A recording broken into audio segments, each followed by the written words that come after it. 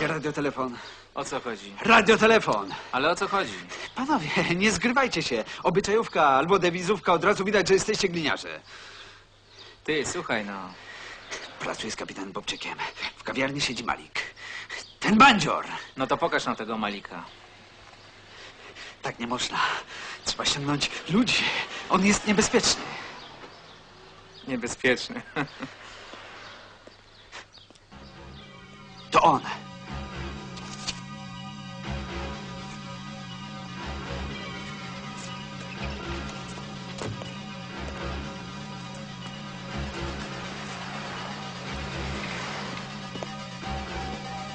Przepraszam pana.